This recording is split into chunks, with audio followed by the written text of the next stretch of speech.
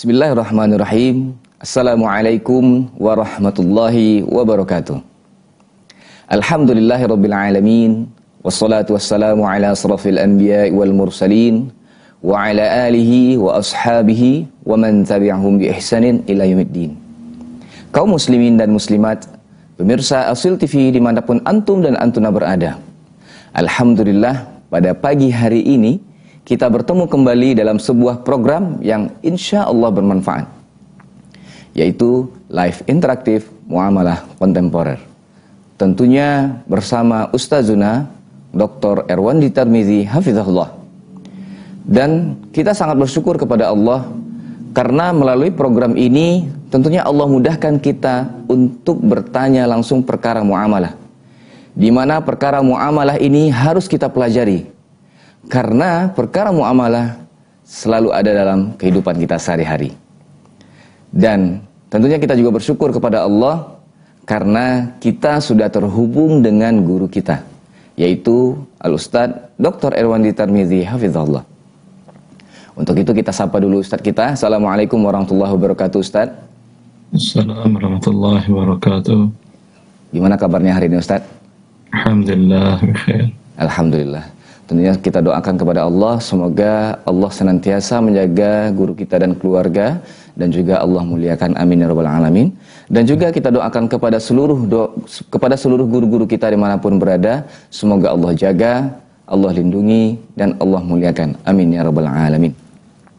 Baik, sebelum kita masuk ke pertanyaan yang sudah masuk ke kita, kita akan informasikan dulu kepada seluruh pemirsa yang ingin telepon, yang ingin berinteraktif kepada kita, itu bisa telepon, SMS, ataupun via WA, tentunya ke nomor 0811 755 0606. Sekali lagi 0811 755 0606. Baik, kita akan mulai dengan pertama pertanyaan yang masuk hari ini. Kita mulai di pertanyaan pertama ya Ustaz. Fadal. Ya. Assalamualaikum warahmatullahi wabarakatuh Ustaz. Ustaz izin bertanya, saya punya usaha kos-kosan dengan laundry. Yang mana penghasilan dari usaha itu kotornya itu sekitar 40 jutaan per bulannya, itu kurang lebih. Mohon penjelasan Ustadz bagaimana harusnya zakat yang anak keluarkan. Barakallahu fikum. الحمد لله رب العالمين وبه نستعين ونصلي ونسلم ونبارك على نبينا محمد وآله وصحبه أجمعين. وبعد رسول الله صلى الله عليه وسلم bersabda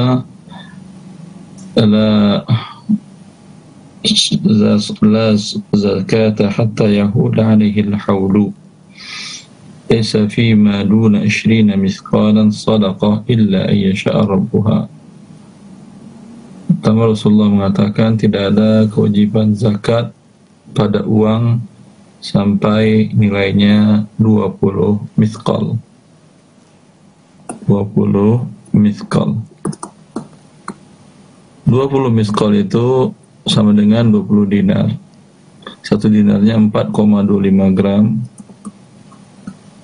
dikali 20 sama dengan 85 gram.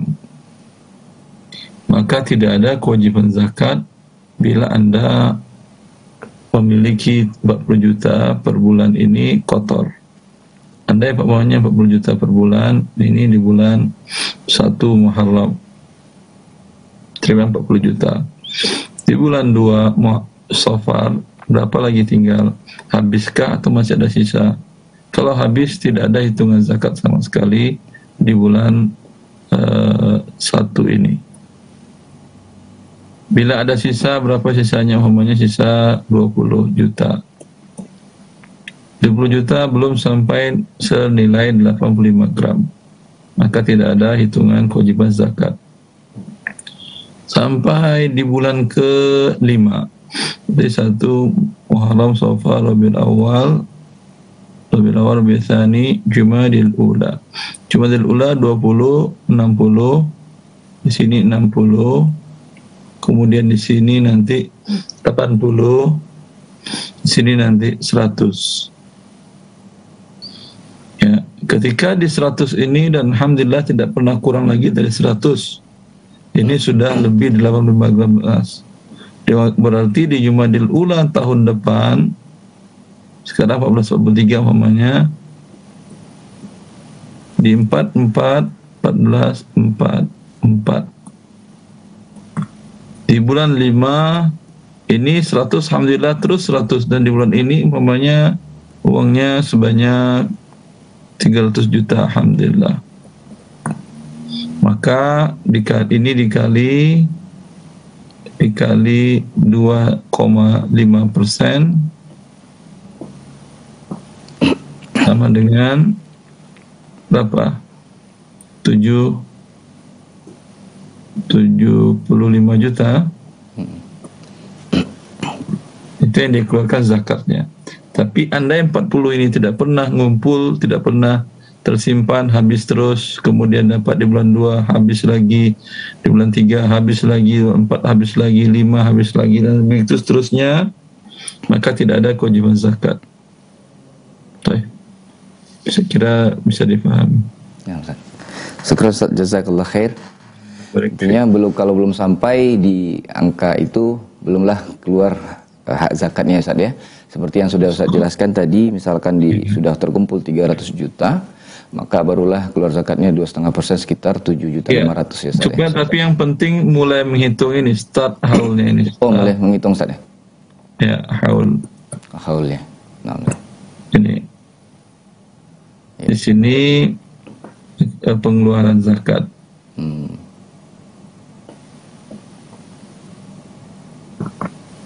Ah, seperti itu. Hmm. Nah, Ustaz. Ya, semoga yang bertanya hari ini bisa uh, men men uh, mendapatkan informasi yang jelas bagaimana caranya kita menghitung untuk zakat itu berapa nominalnya dan berapa haulnya ya Ustaz ya. Nah, Ustaz. Baik, alhamdulillah. Kita akan masuk kepada pertanyaan yang kedua, Ustaz. Assalamualaikum warahmatullahi wabarakatuh, Ustaz.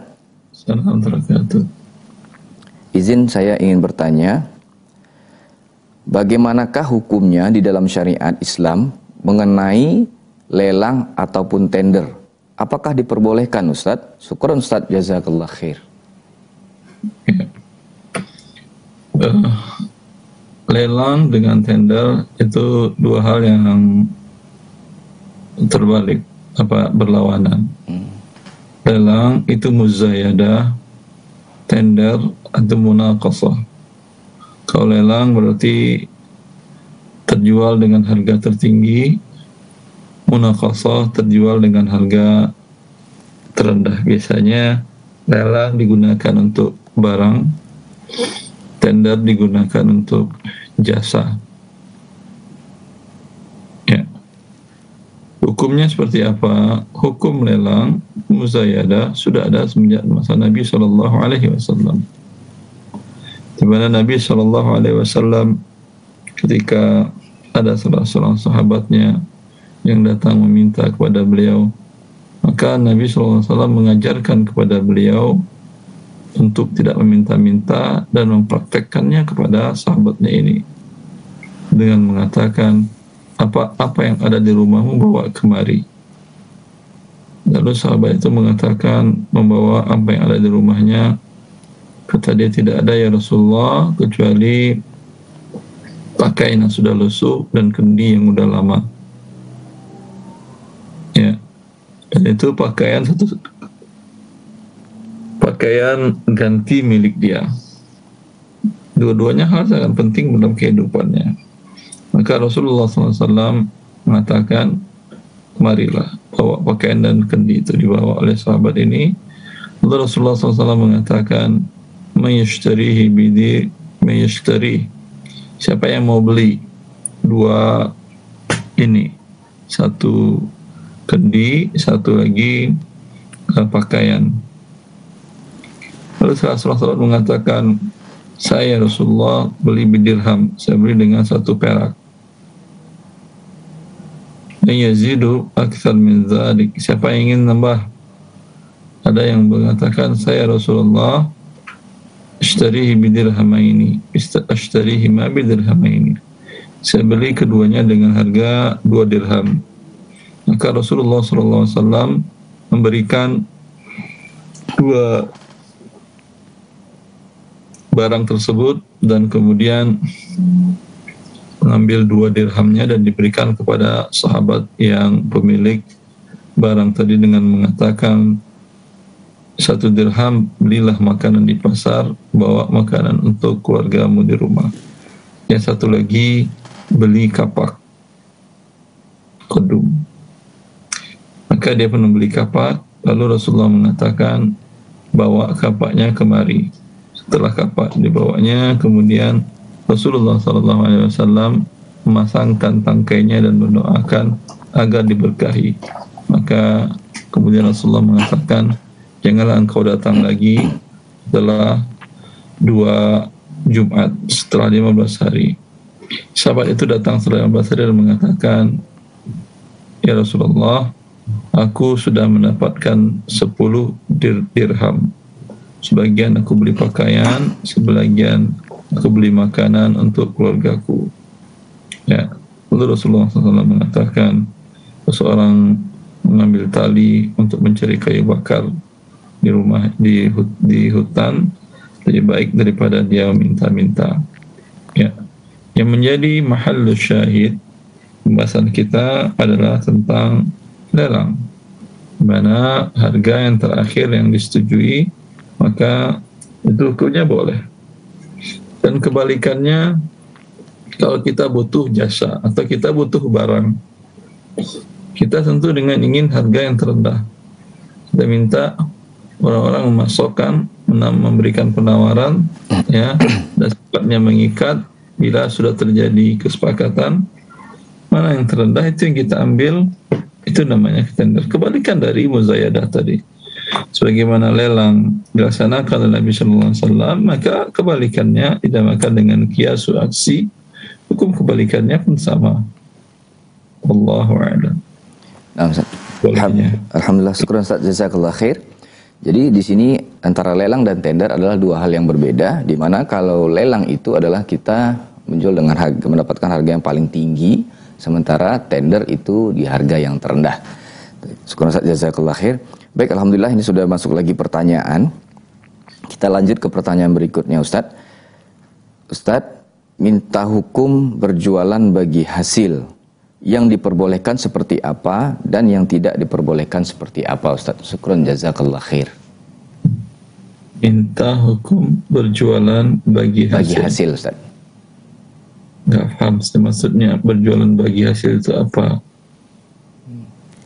Kalau dari dilihat di sini mungkin ada kerjasama begitu Ustaz antara misal seorang investor atau si penggerak usahanya sendiri Ustaz. Bagaimana bagaimana uh, ininya cara-caranya dan apa yang apa yang diperbolehkan dan apa yang tidak diperbolehkan mungkin seperti itu saya.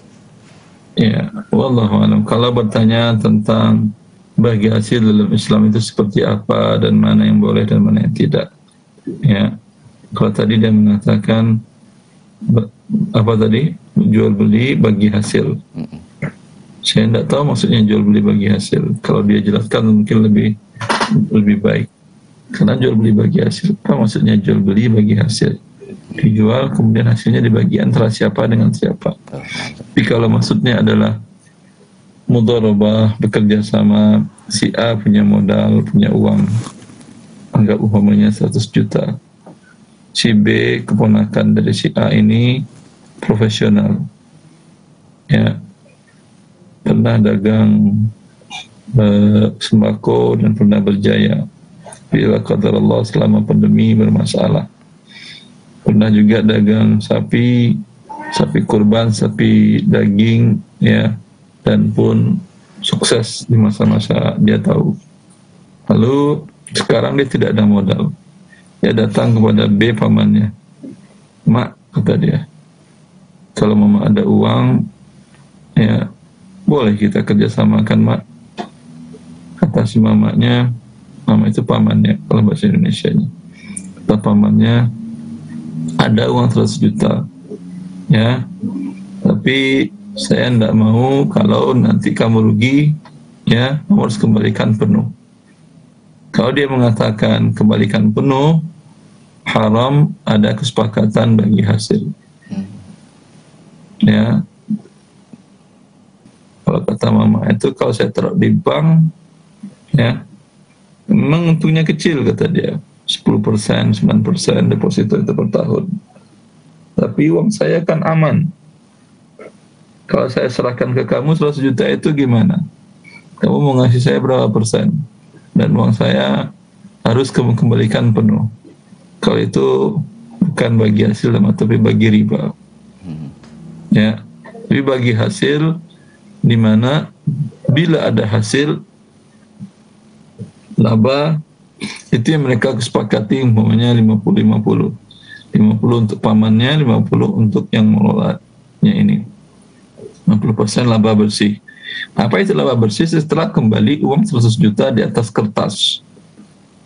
Ya ada aset ada aset berbentuk barang ada berbentuk piutang ada berbentuk uang tunai ada berbentuk manfaat. Itu di atas kertas sudah lebih 100 juta semuanya umumnya 150 maka laba bersih 25 50 juta. Mereka bagi dua untuk ponakannya 25 untuk pamannya 25 juta. Itu yang bagi hasil yang dibenarkan dalam syariat. Wallahu a'lam. Ustaz syukran jazakallah khair intinya adalah di mana ketika bagi hasil itu harus sama-sama untung kalau misalkan rugi ya sama-sama menanggung rugi benar Ustaz ya kalau rugi saya belum jelaskan ruginya tadi oh. Kalau rugi dari 100 juta setelah satu tahun si ponakan ini mengelola bukan dia tidak profesional, dia mengelola sepenuh hati. Ya, tidak ada sifat lalai. Tapi lah Allah pandemi ternyata memanjang. Ya, sehingga biaya operasional dan barang tidak bergerak. Barang perputaran barang tidak bergerak, kemudian operasional tinggi. Ya profesional tetap dikeluarkan. Dan dihitung di akhir tahun tinggal lagi sebanyak 90 juta. Maka ponakan mengatakan mak atau paman sekarang uang paman bukan lagi 100 ini tinggal 90 juta. Ini laporan keuangannya lihat silahkan lihat ya berarti pamannya menanggung kerugian 10 juta seponakannya nanggung apa rugi dia selama satu tahun mengelola uang paman dia dapat nol. Kalau saja dia bekerja penjaga toko, duduk saja kerjanya tidak perlu mikir apa-apa, nah, sudah dapat gaji mamanya UMR berapa di Pekanbaru? 4 juta. Sampai 3 juta, Seth. 3 juta. 3 juta per bulan. Kali 12, nah, berapa itu? Sekitar 36. 36. Ya. Sudah dapat dia 36 juta. Duduk aja kerjanya. Hmm.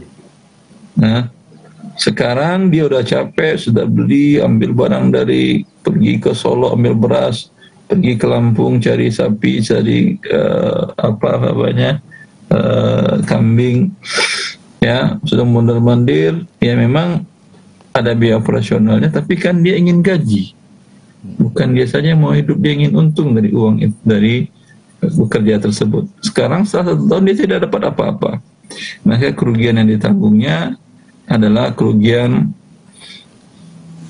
kerja yang tidak dapat hasil sama sekali sedangkan dan itu rugi. 35 juta kerugiannya. 36 juta kerugiannya. Pamannya tadi cuma 20 ya kalau yang besar rugi pengelola berarti maka seperti itu kerugian dibagi sesuai dengan modal masing-masing yang modalnya kerja berarti dia tidak dapat apa-apa. Ya, yang modalnya uang si paman berarti uangnya berkurang dari 100 menjadi 80 juta. Bukan berarti ponakannya harus bayar 10 juta lagi. Ini kerugian ponakan banyak banyak sekali. Sudahlah 36 tidak dapat gajinya tambah 10 juta berarti 46 juta. Pamannya cuma 10 juta kerugiannya. Berarti ini tidak adil, ini namakan menzolim dan ini mengandung unsur yang dimurkai Allah mengandung unsur riba juga. Oh, syukur Ustaz jazakallah khair. Baik, sebelum kita masuk ke pertanyaan berikutnya, sekali lagi kami informasikan kepada seluruh pemirsa Asil TV di mana pun Antum dan Antuna berada, bagi yang ingin telepon di kita, itu bisa telepon kita di nomor 0811 755 0606. Sekali lagi bagi yang ingin bertanya pada acara kita hari ini, itu bisa telepon, SMS ataupun via WA ke nomor 0811 755 0606. Baik, kita lanjut ke pertanyaan berikutnya. Assalamualaikum warahmatullahi wabarakatuh, Ustadz. Assalamualaikum Izin bertanya Ustadz, kami ada program donasi. Jadi di mana dalam program ini, bagaimana jika dalam program tersebut ada santunan untuk sakit para donatur dan pengurus yang mana mereka terlihat kurang mampu. Yang artinya hal itu manfaatnya balik ke diri sendiri. Apakah itu diperbolehkan Ustadz? Mohon penjelasannya. Barakallahu fiq wa jazakallah khair. Baik, saya tidak paham. Kenapa ada program donasi tetapi apa tadi? Jadi di dalam program tersebut ada santunan Sat, untuk untuk, untuk para donatur yang, mampu. yang tidak mampu, ya. Kalau dia tidak mampu, donasinya dari mana? Paham? Nah. Ya. Kalau tidak mampu, donasi dari mana? namanya donasi ada kelebihan. Kalau itu bukan donasi namanya. Iuran wajib, iuran paksa.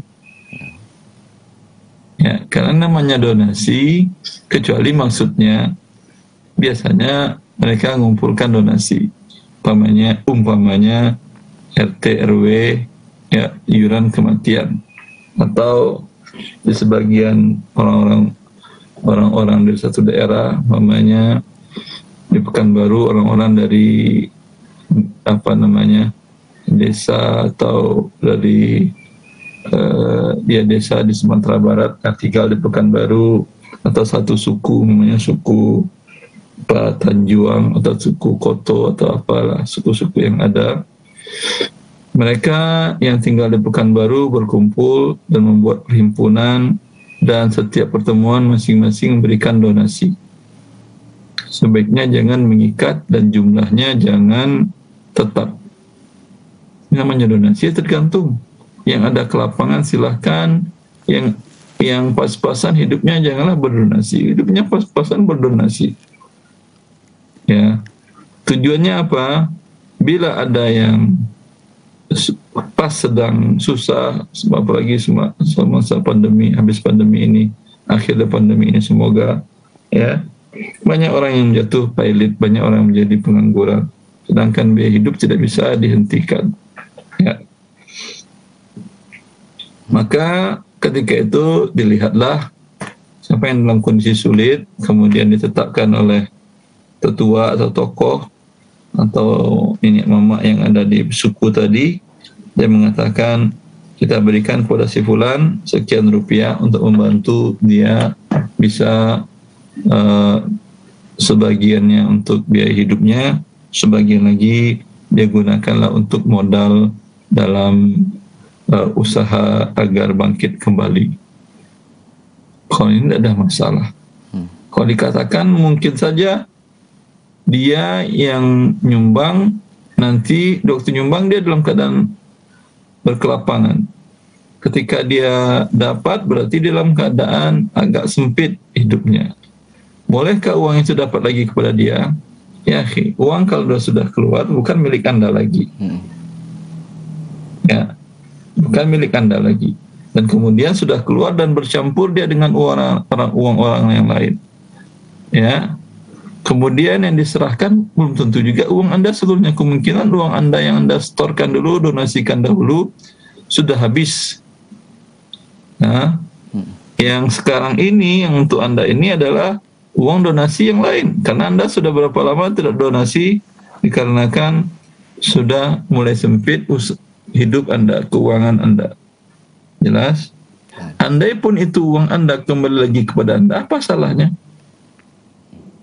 Ya. Karena tidak ada yang berhak, ya nggak wajah Anda nabung berarti. Anda nabung kan uang Anda berikan, kemudian Anda terima kembali. Ya, seperti itu. Maka ini tidak ada masalah karena dia mengeluarkan tabarruk dan dia dapatkan secara tabarruk walaupun kembali lagi kepada dia pun dibolehkan. Berdasarkan diriwayatkan oleh Imam Bukhari dalam sahihnya Rasulullah mengatakan tentang kaum Ash'ari suku dari uh, Yaman yang mereka hijrah ke Madinah. Ya. Mereka hijrah ke Madinah dan biasa mereka saat di Madinah saat mukim ataupun pergi perang bersama Nabi SAW suku ini erat sekali hubungan kesukuannya mereka saling tolong menolong sesama anggota persukuan. Ya. Bila di Madinah atau selagi perang mereka masing-masing sulit bahan makanan, bahan pokok makanan gandum, kurma, anggur anggur kering atau zabib sulit atau kismis, maka mereka mengumpulkan di rumah-rumah masing mereka apa yang ada di rumah. Anggap saya dan antum ya tinggal di Jakarta kita umpamanya. Kemudian Allah musim sulit pandemi. Ya, ada juga orang-orang lain yang sama-sama dari Pekanbaru. Kita buat persatuan, ada sekitar 30. Lalu saya katakan, mari untuk sama-sama berbagi, masing-masing bawa apa yang ada di rumah, makanan pokok yang ada di rumah bawa Uang Ustaz, ah ya udah uang sekalian. Yang di rumah apa tabungan Ustaz sekalian semua yang kita bawa. Yang mau tabungan, mau di rumah, mau apa bawa semuanya. Setuju? Setuju. Ya udah kalau beras saja Ustaz, ya udah beras saja dengan uang. Ya, tapi kalau mau semuanya silahkan. Setelah itu dikumpulkan oleh kaum Ash'ari tadi di satu tempat. Dikumpulkan yang makanan ditaruh di tempat yang bersih tentunya. Ya, setelah itu terkumpul semuanya diperkirakan ini ada sekian liter atau sekian sok. Dihitung kita ada 30, ini sekitar 1000 sok. 1000 sok dibagi 30 orang, berarti masing-masing dapat 33 sok. Atau 33 atau sok itu 2,5 liter. Ya, sekitar itu. 70 70 liter lah kita masing-masing dapat. Lalu dibagi rata semuanya dapat sama. Berarti kemungkinan kan masing-masing ada yang bawa, saya namanya bawa eh, apa anggap 30 liter. Yang lain antum bawa umpamanya 60 liter.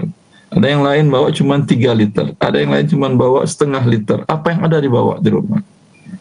Berarti Anda bawa 60 liter, ya akan ngambil tadi 33 liter.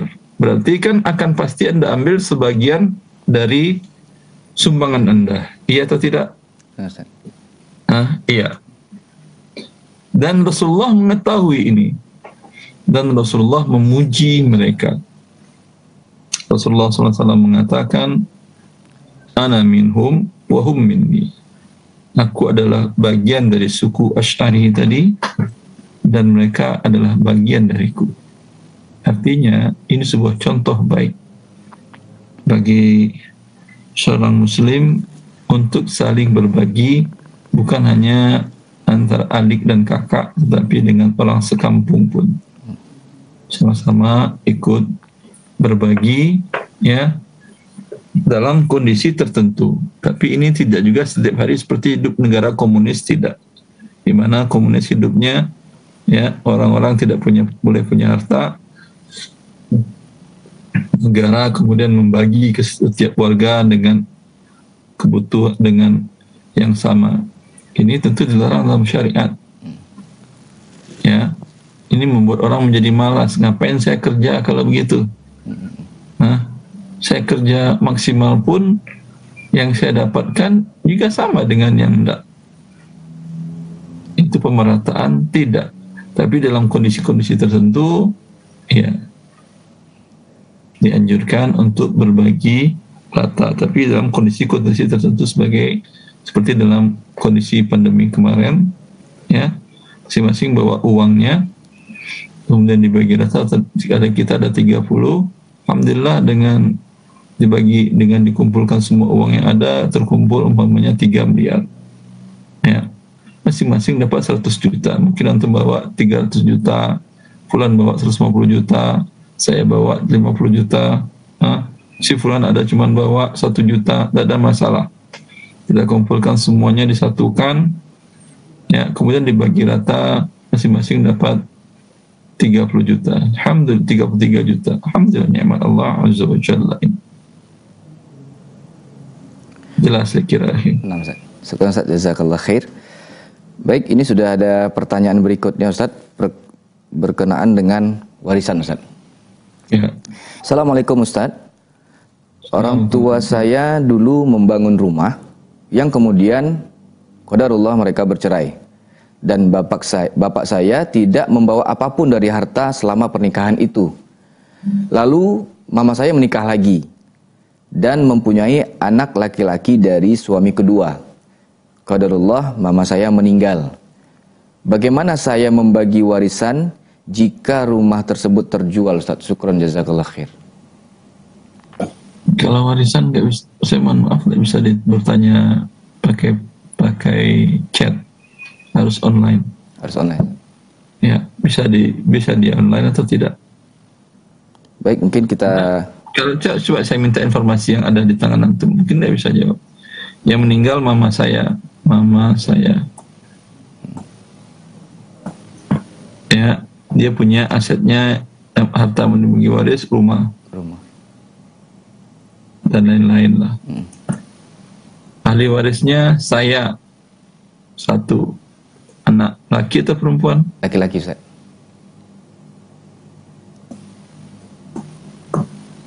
Terus suaminya ada? Suami, Suami mama saya? Suami pertama meninggal. Hidup?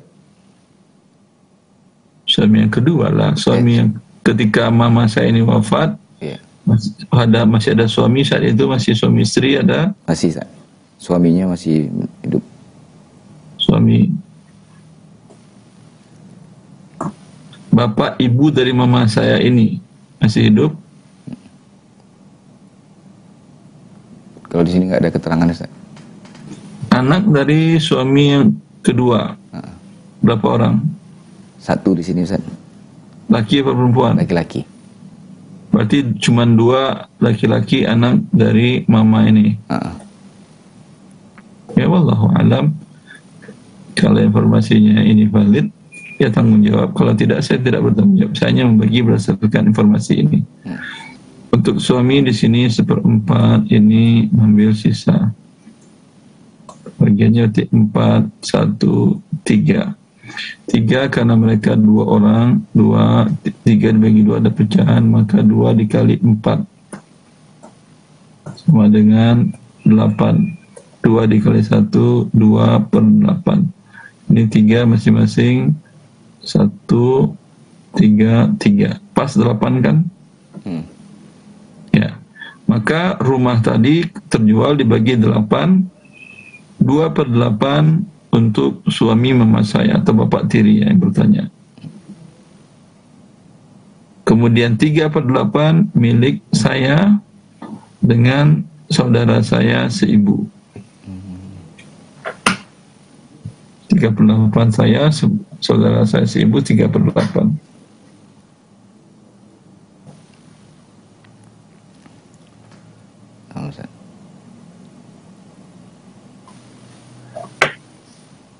Ya. ya. Nah, Ustaz, syukur Ustaz, jazakallah khair. Jadi bisa dilihat di layar kaca kita bahwasanya ketika memang seperti ini keadaannya, tentu pembagian warisannya seperti ini Ustaz ya jadi ada memang seperti ini maka pembagiannya seperti ini juga. Nah, Tapi bila tidak seperti ini tentu tidak seperti ini jadi ya pembagian warisnya. Nah, Karena memang kalau pembagian harta warisan ini harus harus detail informasinya menurut saya. ya. Ya, maka sampaikan kepada para pemirsa bila ingin pertanyaan waris tidak boleh pakai chat atau atau WA atau SMS atau email langsung uh, on air. Baik. Sekali lagi buat saudara-saudara semua yang ingin bertanya perihal waris, itu kalau bisa lebih baiknya adalah secara online langsung atau langsung telepon agar informasi itu kita dapatkan lebih valid. Baik, Kita masuk ke pertanyaan berikutnya Ustaz. Assalamualaikum Ustaz, izin bertanya. Apakah hukumnya membeli barang yang bergaransi seumur hidup Ustaz? Syukran jazakallah khair. Garansi seumur hidup ini gharornya tinggi. Hmm. Hidup apanya? Hidup barangnya, hidup orangnya, hidup penjualnya. Sepertinya hidup orang yang membeli ini Ustaz. Sepertinya. Bukan penjual. Oh, bukan kayaknya. Artinya kalau hari ini pembeli beli barang dengan harga 100 juta, namanya mobil atau motor mahal umpamanya, termewah, Allah besok dia wafat. Berarti sudah hilang garansi. Iya. Karena itu menjadi hak ahli warisnya, hilang garansi besok itu. Uh, nah, Ustaz, kalau dari pertanyaan gitu, Ustaz. Kalau cuma sehari, biasanya tidak ada mobil yang garansi sehari. Nah, nah. Garansi mobil biasanya bahkan sampai lima tahun atau tiga tahun. Kalau mobil baru. Kalau mobil bekas pun biasanya dia beli dia minta saya mohon garansi ya namanya sebulan dua bulan minimal. Kecuali barang murah smartphone namanya dengan harga 10 jutaan. Ya sebiasa dengan garansi sehari dua hari. Kalau barang mahal 100 juta baik. Ini tidak jelas harus diperjelas apa maksud garansi seumur hidup itu. Nah, ada juga setahu saya long life itu artinya adalah bukan hidupnya pembeli. Selama ini barang masih ada. Dulu saya ingat saya waktu saya di saya beli handphone besar besar karena baru muncul waktu itu handphone besar dan keras merek tertentu. Ya kuat sekali tahan. Itu tertulis di sana emang long life warranty. Selagi ini masih ada bukan sayanya maksudnya. Hmm. dan bukan penjualnya bukan pengusahanya juga. Sekarang perusahaannya sudah tutup. Tapi selagi barang masih ada dan rusak tidak bisa dipakai itu bisa dikembalikan itu bagian trik dari orang berjualan untuk menarik pembeli. Biasanya untuk barang-barang elektronik yang mudah rusak memang hmm. tinggal ditanyakan atau minta detail. Biasanya waranti itu garansi itu ada kartunya baca di sana term and condition atau syarat dan ketentuan sehingga jelas bagi anda. Hmm. Nah, Ustaz. Baik, kita lanjut ke pertanyaan berikutnya Ustaz. Ini pertanyaan tentang gadai Ustaz. Assalamualaikum warahmatullahi wabarakatuh Ustaz. Bagaimanakah hukum gadai dan bagaimana caranya? Jika contohnya seperti ini, saya menggadaikan sawah kepada seseorang, kemudian bolehkah sawah tersebut dikerjakan oleh yang memberikan solusi itu Ustaz? Syukur jazakallah khair. haram bagi dia mengerjakannya kecuali dia harus membayar seperti dia membayar kepada orang lain. Hmm. Kalau sawah Anda dikerjakan orang lain, hmm. yang mengerjakan itu membagi nanti nggak hasilnya kepada Anda yang punya sawah? Hmm. Jawabannya tentu iya. Bagian biasanya ada paduan sawah, ada petiguan sawah. Kalau paduan sawah itu namanya 50% untuk yang mengelola, 50% pemilik tanah kalau petiguan itu dua per tiga untuk pemilik lahan, sepertiga atau pemilik pengelola atau sebaliknya. Ya, seperti itu. Tapi kalau di gitu dia mengatakan apa untungnya buat saya? Memang akad pinjaman tidak boleh Anda mengambil untung. Ya. Kalau Anda mengambil untung, pinjamannya berubah menjadi riba. Wallahu a'lam. Jazakallah khair. Baik, ini sudah masuk lagi pertanyaan baru. Alhamdulillah, banyak pertanyaan pagi ini. Ini hamba Allah di Riau. Assalamualaikum Ustaz. Assalamualaikum. Apakah hukumnya menerima job service AC dari instansi bank konvensional? Apakah termasuk tolong menolong dalam kemaksiatan? Dan apa sikap kita yang benar sedangkan di sisi lain kita butuh pemasukan yang lain Ustaz? Syukur jazakallah khair. Ini tentu tolong menolong dalam membesarkan, mensupport, mendukung usaha riba. kalau dikatakan sedangkan di sisi lain kita butuh uang. Hmm. Iya, Anda butuh uang yang halal atau uang yang haram? Hmm. Kalau butuh uang saja Anda katakan ya terserah Anda, itu uangnya haram. Hmm. Karena mensupport suatu uh, lembaga badan yang dimurkai oleh Allah Azza wa Jalla. Hmm. Ya. Tapi kalau Anda ingin mencari uang yang halal, itu tidak halal mati sih nanti Ustaz. Udah kalau anda mati datang aja ke lembaga zakat yang ada. Mereka akan memberikan anda biaya hidup untuk sehari minimal. Kebutuhan pokok anda. Wajib bagi mereka memberikannya. Bila tidak mereka berdosa. Karena lembaga zakat itu uang di tangan mereka bukan uang milik mereka. Yang milik mereka adalah hak amil tidak lebih dari seperdelapan. Sisanya tujuh per delapannya milik orang-orang yang Allah tentukan, terutama para fakir miskin. Itu hak anda di sana. Tidak akan mati anda insya Allah karena tidak dapat kerja, dapat uang dari proyek yang haram tadi. Baik. Baik, sekarang Ustaz Jazakallah khair. Jadi di sini Ustaz sudah menjelaskan bahwasanya itu termasuk tolong menolong dalam kemaksiatan dan itu membesarkan seperti instansi yang uh, ada riba di sananya.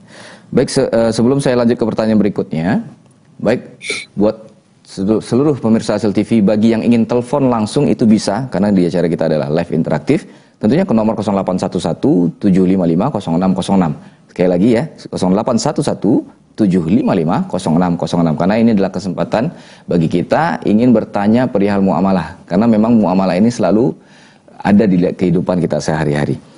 Baik Ustaz, kita lanjut ke pertanyaan berikutnya. Assalamualaikum Ustadz, izin bertanya. Hmm. Bagaimanakah jika dalam suatu perusahaan ada aturan liburnya? Akan tetapi di sisi lain ada target yang wajib diselesaikan. Apabila tidak selesai pekerjaan tersebut menjadi hutang dan wajib dibayar walaupun di hari libur. Nah, bagaimana hukumnya dengan pekerjaan dengan akad seperti ini Ustadz? Syukron jazakallah khair. boleh, boleh kalau Anda mau menerima. Hmm tidak katakan dari awal saya tidak mau kerja seperti ini. Hmm. Saya maunya kerja masuk jam sekian, pulang jam sekian, lima hari kerja atau enam hari kerja sepekan, selesai nggak selesai saya pulang. Tidak ada lembur, tidak ada masuk di hari libur. Ada hari libur adalah hari untuk anak-anak dan keluarga saya. Hmm. Ya, kalau dia mau, alhamdulillah. Kalau pemberi kerja mau, ya, tentu tidak ada masalah. Tapi kalau dua-duanya mau, ya memang ada positif negatifnya. Kalau berdasarkan by project, sudah berdasarkan project. Bila project selesai, ya, namanya kamu kerja daripada kamu kerja lima hari, selesai sehari projectnya dan sesuai spek, sesuai uh, pekerjaannya bagus dan baik, empat harinya silahkan kamu libur, kamu digaji lima hari ya. Hmm. Tapi kalau tidak pakai project, masuk tiap hari ada tidak ada pekerjaan, jangan kau libur. Karena dengan gaji harian, dua-duanya boleh dibolehkan oleh syariat. Syukur Ustaz, jazakallah khair. Baik, ya. ini kita ada satu pertanyaan terakhir Ustaz di pagi ini. Ini tentang kredit Ustaz. Assalamualaikum Ustaz. Assalamualaikum saya rencana ingin mengkredit sebuah barang, di mana harga HP itu adalah seharga 5 juta rupiah. Yang kemudian ketika saya melakukan mengajukan kredit, itu tentunya di harga 6 juta rupiah. Nah bagaimana hukumnya ketika saya sudah mengajukan kredit ini, akan tetapi produknya belum ada, dan si B tersebut membeli produknya terlebih dahulu, baru kemudian menjadi uh, baru kemudian kami melakukan transaksi. Nah, bagaimana hukumnya seperti ini Ustaz? Syukran jazakallah khair. Jadi yang disampaikannya tidak ada masalah. Hmm. Ya, jual beli kredit ketika Anda mengajukan kepada seseorang atau uh, anggaplah toko atau individu atau lembaga finance atau apa namanya, Pak, saya ingin beli smartphone harganya cash 5 juta. Kata yang akan menjual sekarang karena barang stok barang tidak ada di tangannya dia mengatakan kemampuanmu bayar per bulan berapa? Ya umpamanya mengatakan 500 ribu. Kalau 500 ribu berarti selesai dalam 10 bulan. Kan 5 juta kan ya? Maka kalau 10 bulan kami ambil margin umpamanya 20 persen kami jual kepada Anda atau lebih ringan lah. Kami ambil margin 10%, 10 bulan 10% berarti dari harga 5 juta menjadi 5 juta 500 ribu rupiah. Ya. Kemudian tapi dengan syarat kamu harus jaminkan kalau ada sertifikat rumah boleh, kalau tidak ada sertifikat motor BPKB mobil mobil atau Honda pun boleh. Ya. Setelah itu kalau kamu setuju saya akan belikan, tapi ini belum ada akad ya. Itu kan hanya uh, penawaran. Kemudian dia mengisi uh, setelah dia pikir-pikir, dia dia cari-cari umpamanya uh, barang yang bisa dijadikan sebagai jaminan atau agunan ya siapa saya ada gunanya. Saya sudah pikir-pikir lebih baik saya bayar. Saya beli dengan harga 5 juta 500 dengan cicilan eh, sejuta bayar 500 ribu per bulan berarti selama 11 bulan. Ya. Dan ini jaminannya kalau saya prestasi silahkan dieksekusi dan silahkan diambil sisa hak bapak yang belum terpenuhi dan bila ada kelebihannya kembalikan ke saya. Bila penjualan barang jaminan kurang dari uh, hutang saya ke bapak ya insya Allah saya akan bayar lagi. Saya akan bayar terus. Ya siap kalau begitu kata si finance ini. Si finance ini atau toko apalah namanya pergi dia ke dealer handphone dia beli cash. Ya dapat dia harga uh, betul 5 juta dapat dia harganya. Setelah dapat harga 5 juta dia panggil dia panggil yang ingin tadi. Anda ingin smartphone jadi jual beli. Kalau umpamanya si yang uh, ingin mengajukan tadi mengatakan Alhamdulillah Pak kata dia. Ya siang kemarin itu setelah saya dari tempat bapak kata dia. Ah malamnya ada mama saya, paman saya, kata dia membelikan smartphone itu. Atau saya bicara ke istri dan istri ngomong ke adiknya atau ke orang tuanya. Lalu mereka pun beli dan hadiahkan ke saya. Ya, tentu saya tidak mungkin beli, beli, beli lagi nyicil ke bapak kata anda yang punya toko ya tidak ada masalah. Alhamdulillah tidak apa-apa. Ini bisa kami kembaliin atau kami simpan karena sudah dibeli untuk kami jual lagi ke nasabah yang lain. Ya kalau tidak terjadi nggak dapat anda handphone gratis tadi hadiah tadi. Otomatis anda akan memenuhi transaksinya dan mau melakukannya sekarang berakadnya. Bukan pada waktu kemarin ketika anda mengajukan penawaran. Ya lalu berakad lalu ada di tanda tanganin anda baca tidak ada klausal denda keterlambatan tidak ada. Yang ada hanya klausal jaminan dan jaminan pun sudah anda serahkan dan surat kuasa anda buat untuk mengeksekusi jaminan bila terjadi qadar Allah terjadi prestasi. Ya. Dalam hal ini ini suatu hal jual beli yang halal wa ahallallahu al-bai'a. Allah telah menghalalkan jual beli dan ini adalah salah satu bentuk jual beli dan jual beli hukumnya adalah halal. Saya kira jelas. Baik Ustaz, syukran jazakallah khair dan alhamdulillah itu adalah pertanyaan kita yang terakhir di pagi ini Ustaz. Uh, tentunya kami mengucapkan jazakallah kepada Ustadz karena sudah meluangkan waktu dan memberikan kami banyak ilmu pagi ini Ustaz. Syukur Ustaz, jazakallah khair Ustaz. Ya, baik. Baik, alhamdulillah kita sudah belajar bersama guru kita pagi ini. Banyak ilmu yang kita dapatkan, tentunya perkara muamalah. Alhamdulillah. Dan juga sebelum saya tutup acara pagi ini, ada informasi yang ingin saya, eh, kami sampaikan kepada seluruh pemirsa Asal TV, di mana pun antum dan antuna berada, bahwasanya insya Allah di hari Ahad, tanggal 26 Juni 2022, itu akan ada kajian, tentunya bersama Ustadz kita, Ustadz Dr. Erwan Termiti, Hafizahullah, dan itu bertempat di Masjid Nurul Iman Blok M Square di Jakarta itu pukul 1 siang dan tentunya itu di Asil TV. Sekali lagi kami informasikan bahwasanya akan ada kajian bersama Ustadz kita Ustadz Dr. Erwani Tarmidhi Hafizahullah itu di hari Ahad tanggal 26 Juni 2022 dan itu bertempat di Masjid Nurul Iman Blok M Square Jakarta pukul 1 siang dan itu hanya di Asil TV. Baik, sekali lagi kami mengucapkan jazakumullah khair atas segala perhatian kaum muslimin dan muslimat yang sudah berpartisipasi di acara ini. Tentunya kami mengucapkan sangat ber, sangat banyak terima kasih karena sudah uh, berpartisipasi dan tentunya semoga Allah memberikan kita umur yang panjang dan kita bertemu kembali di pekan berikutnya tentunya di acara yang sama. Karena apa? Karena kita berharap ilmu-ilmu ini terus yang akan kita pelajari dan kita terhindar dari hal-hal yang Allah murkai.